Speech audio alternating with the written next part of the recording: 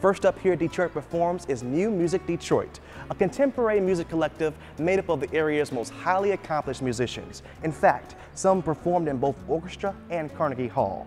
Here they are, coming to you from MOCAD. It's New Music Detroit.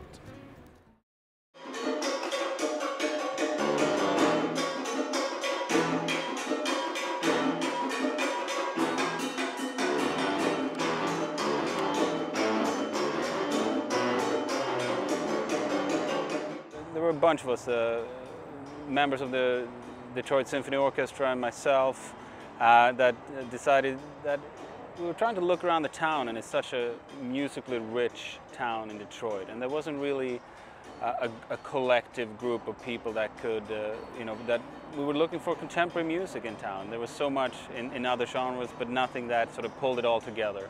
And we also realized that it was really hard to find venues. Uh, you know, plenty of people who were willing to play it and, and wanted to be involved, but, but it's also hard to put everything together. You need to find the venue, you need to do the advertising, you need to do the marketing, you need to make sure all the instruments is set up and ready. And so this group of people, this collective, as we were started, decided, you know, why don't we do that? And then we invite friends and, and people, uh, you know, who want to play this music uh, from everywhere. So we've had, you know, everything from noise band to, you know, contemporary, uptown, downtown, however you want to label it. But it's just this really exciting group of people who, who want to play new music here in Detroit. So we, we thought, you know, should we pick a name that, you know, you know, Red Apple or, or something like that. And then we thought, you know what, let's just call ourselves New Music Detroit because that's what we're doing and that's what we like.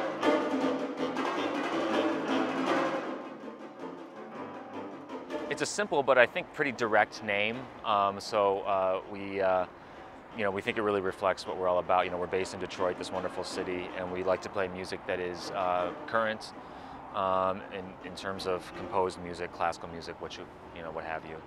All or most of the founding members were affiliated in some way with the Detroit Symphony. So that's sort of how it started. We were all um, just starting off our professional careers and enjoy making music with the DSO, but wanting to do something um, different as well in more in, I should say, less formal spaces and sort of program the music by composers that we wanted to program.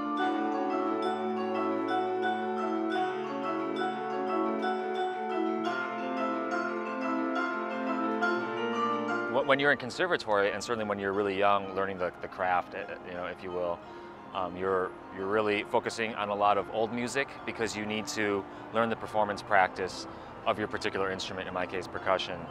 Um, and so that's a really deep tradition and a wonderful tradition. Um, but the downside is uh, you can't just call up Beethoven and ask him uh, you know, what he thinks of uh, your interpretation of this or that.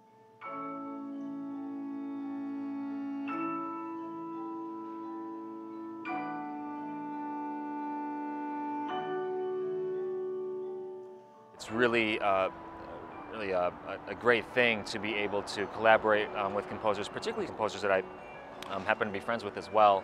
Um, because if you're developing a piece with them, say you're commissioning them, um, you can be involved with the process from the very beginning, you know, before composer even puts pen to paper. So to be able to sort of have a window into the process and to be able to collaborate um, from the first step all the way through, you know, the performances, conceiving of what tone, what sound, um, the feel, um, all those things. It's just, it's just really, um, it's immeasurable to have the composer's input and all that stuff.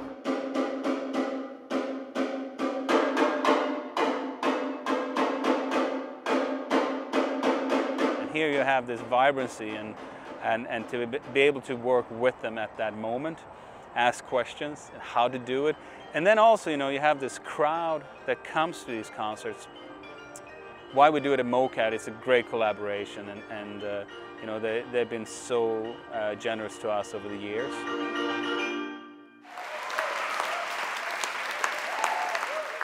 This music sort of, you know, a lot of the music that we program, you know, sort of reflects, uh, you know, the feeling of Detroit. It's, it's sometimes it's gritty and, uh, you know, sometimes it's beautiful and, but, you know, at the end of the day, it's just, it's just music here played by our group at a great building, at a great time of the year, and we're just happy that all these people are coming out and supporting us. And that shows us, you know, it tells us that this is something that people really want, and, and that's, what, that's the greatest thing of all.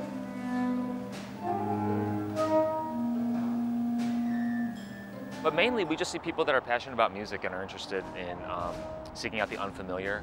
I think there's a there's a real sort of adventurous spirit in this city, um, and it's certainly it's certainly a big time music town. I mean, I mean, in, in the big leagues, you know, up against any other city you can think of. Um, it's really one of the top um, places in terms of just appreciation, knowledge of, of all kinds of music. So here we are. Uh, this is uh, Strange Beautiful Music 6. Uh, it's the sixth time around. We do it every year. Every year we think we're crazy for pulling it together, and every year we just want to do it again. So it's, it's a crazy feeling, but you know, uh, we love it. It's cool to be able to, to bring this to Detroit because uh, it's really happening here now.